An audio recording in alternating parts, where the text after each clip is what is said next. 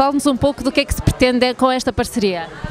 Eh, eu dizia há pouco na, na, no lançamento que uh, este espaço é o espaço que simboliza aquela ideia do nosso presidente, Paulo Teixeira Pinto, de uh, desenvolver o um negócio como uma fábrica de ideias e sensações.